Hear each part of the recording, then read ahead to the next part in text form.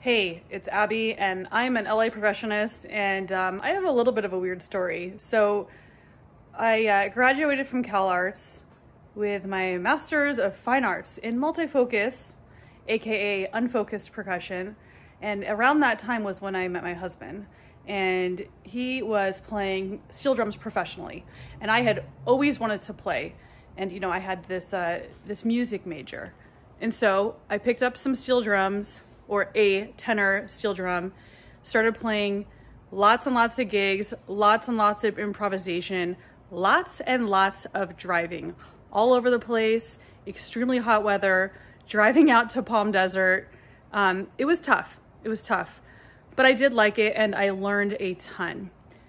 So what ended up happening is we were just absolutely exhausting ourselves playing all these gigs all over Southern California, sometimes Central California, and then had this idea because we had a little bit of gear together and we had this idea to um, maybe rent out some of our gear just to kind of take the pressure off of having to do so much driving around LA, Orange County, Santa Barbara, San Luis Obispo, Palm Desert, all of it. And we made this little website and got a call. And the first call we got was for a gong rental actually at one of the hotels that we were playing at in Palm Desert. So it was pretty funny because Dan ended up taking this gong out. We rented this gong and then he played this gig at this hotel we'd already been playing at for years. And then we started getting more calls and more calls and we started buying more and more gear. And it just snowballed. So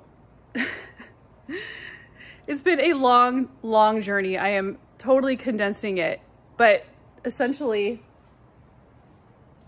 we have been going and going and going and kind of inventing this this type of business that has not just been about renting, but actually advising composers and production staff about percussion and about some of the more direct percussion um, production needs. But in addition, some of the creative needs, helping them find sounds.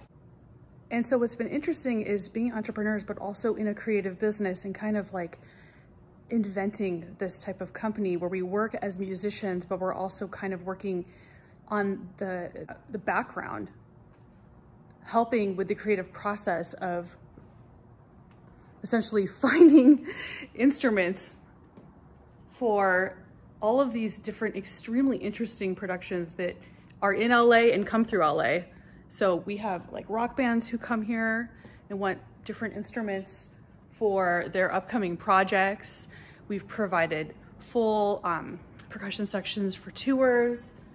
We have worked with film composers and played in some of their films as well. I'm trying not to trip.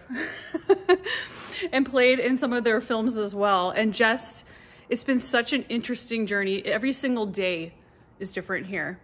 And then, you know, this one day we got this call from Emil Richards, a very well-known um, recording percussionist who was the finger snaps in the Addams family and the Xylo lick in the Simpsons theme song and had this huge percussion collection and pretty much everyone knew about him and he said that he was kind of retiring and wanted us to take over his collection. So that was incredible.